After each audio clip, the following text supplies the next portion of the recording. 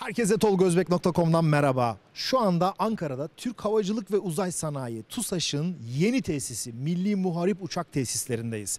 Biraz sonra Milli Muharip Uçak'tan sorumlu Genel Müdür Yardımcısı Uğur Zengin'le beraber bir röportaj yapacağız.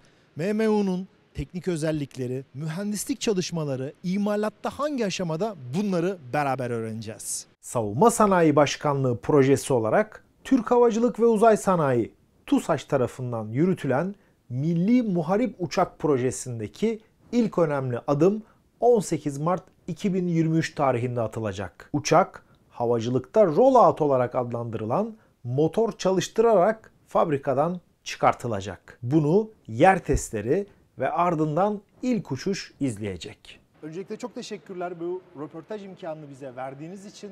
Ben hemen sorularıma işin mühendislik tarafıyla ilgili sorarak başlamak istiyorum. Ee, öncelikli olarak mühendislik açıdan şu an Milli Muharip Uçak hangi aşamada? Evet, öncelikle hoş geldiniz. Ee, Hem binamıza hem de e, projemize diyelim. Ee, Şu an Milli Muharip Uçak aslında e, çok önemli bir aşamada mühendislik açısından. Biz şu an gereksinimleri dondurma aşamasındayız. Ee, Tabii bildiğiniz üzere projemiz çok uzun zamandır devam ediyor. Yaklaşık baktığınız zaman kağıt üzerinde 10 senedir e, devam eden bir proje. Artık bu en önemli aşamayı tamamlamaya çok yakınız diyebilirim. Önce uçak seviyesi gereksinimler konusunda müşterimizle anlaştık. Şimdi de e, bir alt seviyede sistem gereksinimleri konusunda anlaşmak üzereyiz. E, Tabii burada süreçler seri bir şekilde değil de birçok süreç, birçok e, aşama paralel bir şekilde ilerlemekte. Dolayısıyla biz e, henüz gereksinim tanımlama aşamasında, tanımlama aşamasında olmamıza rağmen bir taraftan da bildiğiniz üzere aslında uçağımızı üretmeye başladık. Bu e, birçok projede görülmüş bir durum değil. Ama tabii böyle büyük projelerde, böyle uzun soluklu projelerde birçok faaliyeti paralel yürütmek gerekiyor. Dolayısıyla bir taraftan da biz aslında dediğim gibi hem tasarım yapıyoruz hem e, tasarımı imalata aktarıyoruz. Bir taraftan parça üretimlerimiz başladı. Bir taraftan montaj e, araç gereçlerimiz e, hazırlanıyor, prototip binamız yapılıyor. Yakın bir zamanda da artık yavaş yavaş e, komponent montajlarımıza, sonrasında da final assembly dediğimiz final montaj hattına doğru ilerleyeceğiz. Yıl sonu itibariyle de inşallah uçağımızı iniş takımları üzerinde sistemleri entegre edilmiş bir şekilde göreceğiz. Zaten bildiğiniz üzere hedefimizde e, Mart 2023'te e, rollout yapıp e, motor çalışır Ama bir motor şekilde motor çalışır bir şekilde rollout'umuzu yapmak. Tabii bununla kalmıyoruz aslında. Bir taraftan dediğim gibi motor e, uçağımızı çıkarmaya çalışırken aynı zamanda 2025'te uçacak uçağımızı da tasarlıyoruz. Onun da geometrisi şu an donmak üzere. Onun rüzgar tüneli testlerine hazırlıklar yoğun bir şekilde devam ediyor. Ee, onun uçuş test faaliyetleri, binlerce saat uçuş test yapmamız gerekiyor bu uçakları envantere kazandırabilmek için. Dolayısıyla orada da çok sıkı bir takvim bizi bekliyor. Biz bugünden de aslında 2025'i ve yine bugünden sonrasında 2029-30'lu yıllarda envantere girecek uçağa çalışıyoruz. Dolayısıyla envantere giriş de aslında e, çok sıkı bir takvim. Dolayısıyla birçok paralel aşamayı biz şu an bu projede e, yürütüyoruz. Ee, Biraz işin mühendislik açısından ben devam etmek istiyorum. Şu an projede kaç mühendis çalışıyor? Uluslararası e, çeşitli alımlar için şeylere çıktınız, reklamlara çıktınız. Farklı farklı şirketlerle çalışıyorsunuz. Danışmanlığınız var. Bir şu mühendislik aşamasından bir son Tabii bilgileri ki. sizden alalım. Şimdi çok büyük bir ekip Milli Muharip ailesi. Şu an e, direkt projeye bana bağlı çalışan, projeye direkt çalışan yaklaşık 1100 mühendisimiz var. E, bunların tamamı yerli mühendisler. E, bunun dışında dediğiniz gibi aslında sektörümüz yine e, başta Aselsan, Havelsan, Roketsan, STM, TÜBİTAK gibi büyük savunma sanayi şirketlerimiz olmak üzere irili ufaklı onlarca savunma sanayi şirketimiz şu an projeye aktif katkı sağlamakta. Bunların bir kısmı alt yüklenici iş paketleri e, şeklinde projeye destek sağlıyor. Bir kısmı yine bu mühendislik binamızda ki burası yaklaşık 2300 mühendis kapasiteli bir bina. Yani yarısını yaklaşık neredeyse Şu an e, doldurdunuz. dış paydaşlarımızı, yabancıları, işte danışmanlarımızı saydığımızda şu an bu binada yaklaşık 1500 kişi milli muharebe çalışıyor diyebiliriz. Ama bu tabii hızla sayı artıyor. Yakında yavaş yavaş yeni alanlar açmaya çalışacağız. E, Çünkü sayımız hızla artıyor. E, Biz tabii burada e, çok daha fazla mühendisi istihdam etmek istiyoruz ki e, bu belki de sayılarımız 5000 6000'leri bulacak mühendislik anlamında. Dolayısıyla e, yeni çalışma alanlarında yavaş yavaş e, düşünüyoruz, kurguluyoruz diyeyim.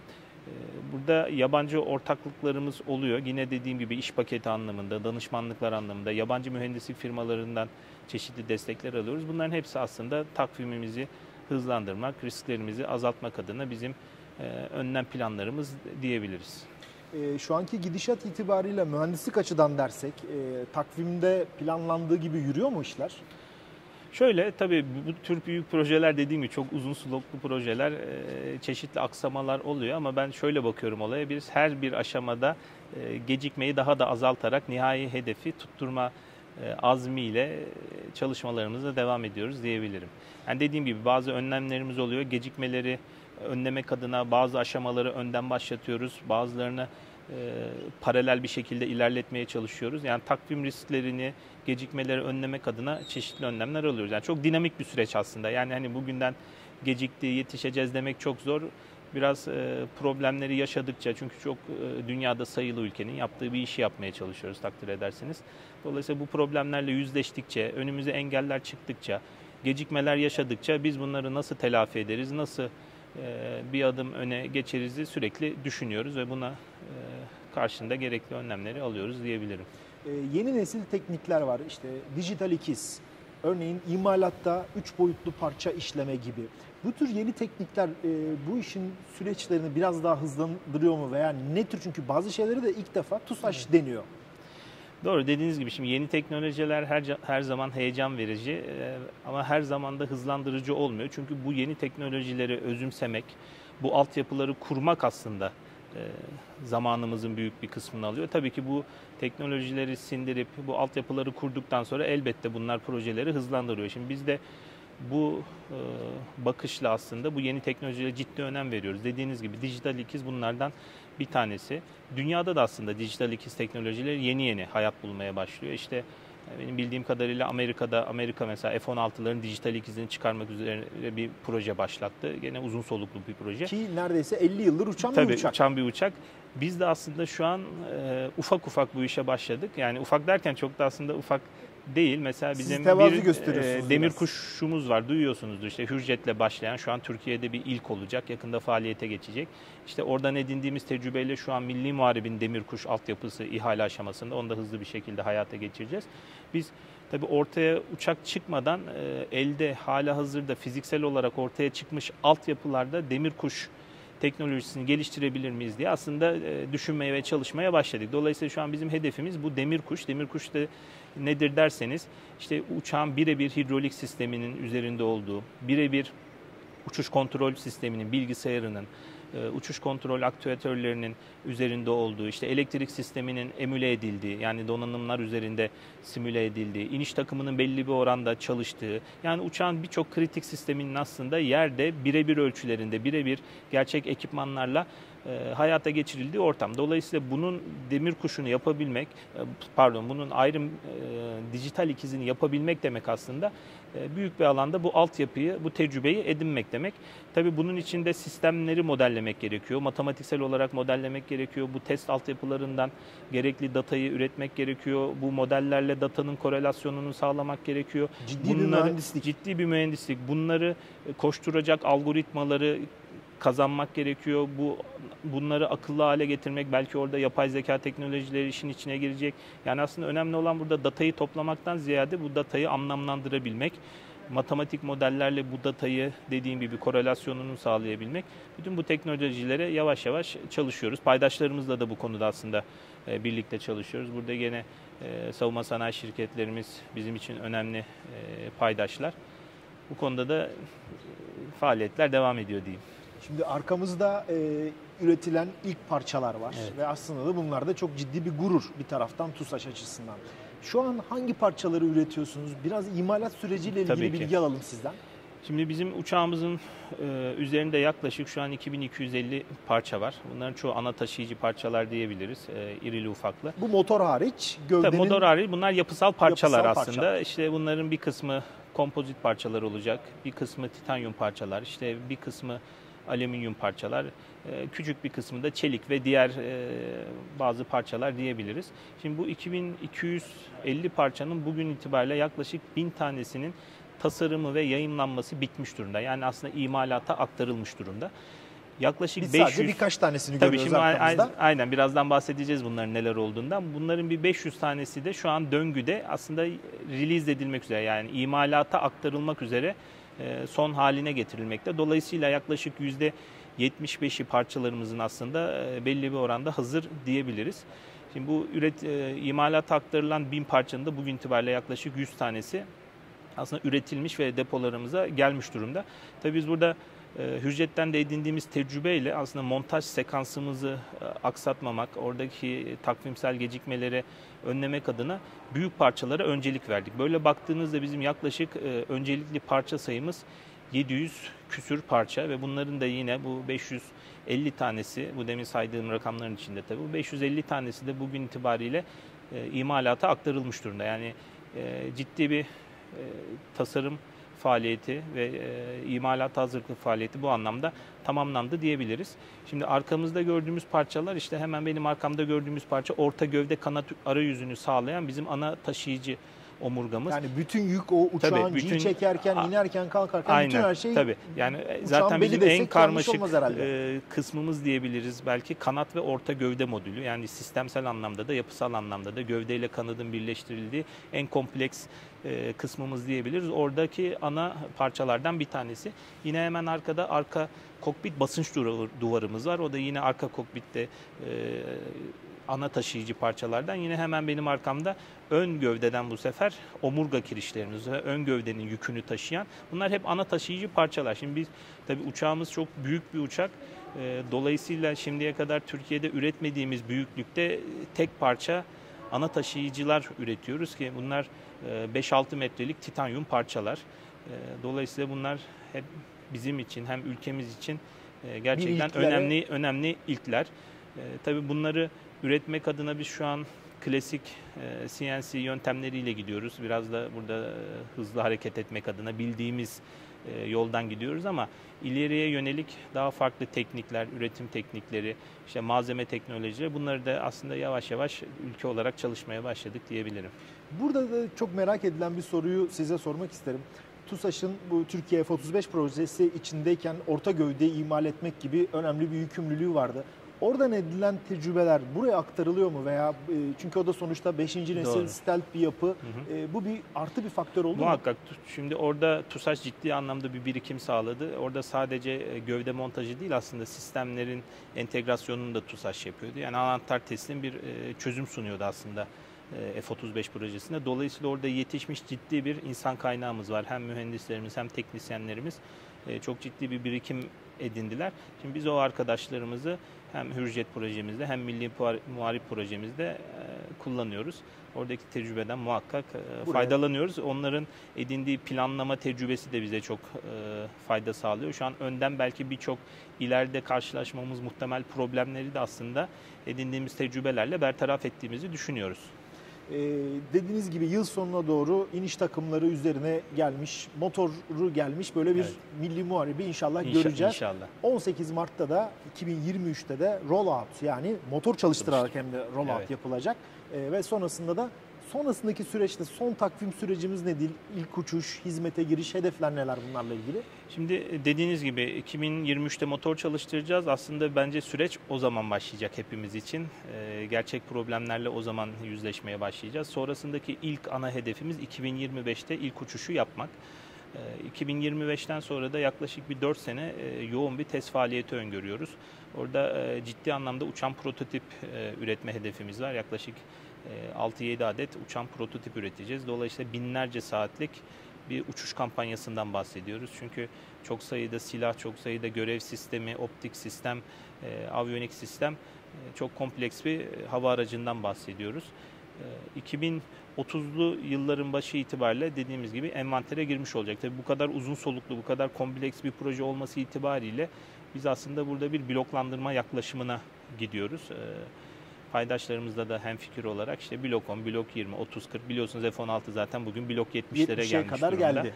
Ee, Biz de işte e, hazır bir motorla başlayıp e, blok 10-20'de sonrasında işte özgün geliştirme motorumuzla birlikte blok 30-40 tam 5. nesil uçak özelinde görünmezlik, e, tam bir görünmezliğe sahip, görev sistemleri tam anlamıyla faal, e, bütün harekat kabiliyetini sağlayan, bütün harekat isterlerini sağlayan bir uçağa 2040'lı yıllar itibariyle 2000 ya da 30 yılların sonu itibariyle kavuşacağımızı ümit ediyoruz. E tabii bir taraftan aslında önümüzdeki 20 seneyi konuşuyoruz. Belki bir kısım teknolojiler değişiyor olacak. Tabii biz onlara da açık bir şekilde e, yeni nesil mimarilerle yeni gelecek teknolojileri de uçağımıza uygulayacak şekilde altyapımızı Onun da yerini hazırlayarak. e, tabii onun da yerini hazırlayarak hem altyapımızı hem zihinsel olarak e, dönüşümümüzü de ona göre sağlamaya çalışıyoruz. Ee, izleyicilerimizden gelen bir çok sorulan bana sorulardan bir tanesi de bu ilk prototiplerde kullanılacak. Şu an bizim F-16'larda da olan F-110 motoru General Electric'in. Bu tabii bir projenin hareket etmesini sağlayacak Doğru. bir motor. Ee, yerli motora geçiş, test aşamaları bunlarla ilgili süreç nasıl olacak? Şimdi orada sürecimiz şöyle aslında e, bir e, ihale süreci başlamış durumda. Biz tabii e, motor değişikliği biliyorsunuz büyük bir değişiklik. Ciddi mühendislik çalışma mühendislik gerektiren. çalışması gerektiren bir iş. Dolayısıyla biz aslında şimdiden geliştireceğimiz özgün motoru da gereksinimlerimizle aslında şu an geliştirdiğimiz uçağı minimum değişikliklerle monte edebilecek e, bir şekilde tasarlatmaya çalışıyoruz. diyeyim. Yani gereksinimlerimiz aslında onu dikte ediyor. Ne, nedir derseniz bunlar özellikle boyutsal anlamda bizim şu andan e, uçağımız ortaya çıkmadığı çıkmaya başladığı için aslında belli başlı kısıtlarımız var. Biz bunları gereksinim olarak yansıtıyoruz. Uçak arayüzlerimiz birçok çünkü alt sistemle motorumuzun arayüzü var. Hem uçağın yapısal anlamda hem sistemsel anlamda. Buradaki arayüzlerle ilgili gereksinimler gene şu an e, motor geliştirici firmalara bir şekilde indiriliyor. Yine hava alığı tasarımı, yani motorla çok iç içe geçmiş bir şey. Biz bugünden aslında özgün geliştireceğimiz motorun ihtiyaç duyacağı hava debisini sağlayacak bir hava alığı tasarımını da yine bugünden hem bugünkü motorumuz için hem e, geliştireceğimiz motor için yapmaya çalışıyoruz. Yani dolayısıyla bu tür kısıtlara dikkat ediyoruz ki e, özgün motorumuzla e, mümkün olan en hızlı sürede tamamen yerli bir e, milli savaş uçağını Bize ait bir bize ait her şeyle bize ait bu uçağı yine çok hızlı e, yine belki 5 sene 10 sene kaybetmeden yapabilmek hedefiyle bu kısıtları şimdiden uygulamaya çalışıyoruz, uygulatmaya çalışıyoruz. Dolayısıyla dediğim gibi ihale sürecimiz başlamış durumda. E, Burada artık hep bir araya geleceğiz firmalarımızla birlikte en uygun çözümü, en gene ne diyeyim optimum takvimde e, bizim harekat isterlerimizi, hava kuvvetlerimizin ihtiyaçlarını karşılayacak bir takvimi sağlamaya çalışacağız. Ee, bir de e, motor kadar önemli bir şey de e, uçağın radar sistemi, ISR radarı çünkü yeni nesil sistemlerde bunlar. O durumda ne e, ISR radarında ne durumdayız? Onlarla ilgili bir son gelişmeler alabilirsek sizden. Şimdi orada geliştirmeler zaten başlamıştı. Ee, yavaş yavaş devam ediyor. Dediğim gibi bloklandırma yapımızda biz blok 10'dan itibaren e, belli başlı görev sistemlerini zaten e, kullanır hale geleceğiz. E, harekat isterlerimize uygun bir uçak yapmak durumundayız sonuçta. Tabii bloklar ilerledikçe bu e, gereksinimler de e, artacak. Geliştirmeler e, tamamlanacak ve dediğim gibi blok 40'tan itibaren aslında biz tam anlamıyla tüm görev sistemlerinin tüm isterleri karşılar şekilde faal olduğu bir uçağa iki, blok 30, blok 40'lar itibariyle ulaşacağız diyebilirim. Ama geliştirmeler devam ediyor ve ilk bloklardan itibaren biz bunların denemelerine başlayacağız. Ee, şimdi izleyicilerimiz baktığı zaman fuarlarda görüyorlar, mokabı görüyorlar. Daha sonra da bakıyoruz ki animasyonlarda e, biraz ufak ufak değişiklikler var. Bunlar tabii çok Hı hı. normal havacılık açısından. E, mokabı yapılan ki planla şu anki durumlar arasında böyle bir büyük değişiklikler oldu mu? Yani tabii dediğiniz gibi e, mockup'tan beri birçok değişiklik yapıyoruz. Rüzgar tünellerine gidiyoruz.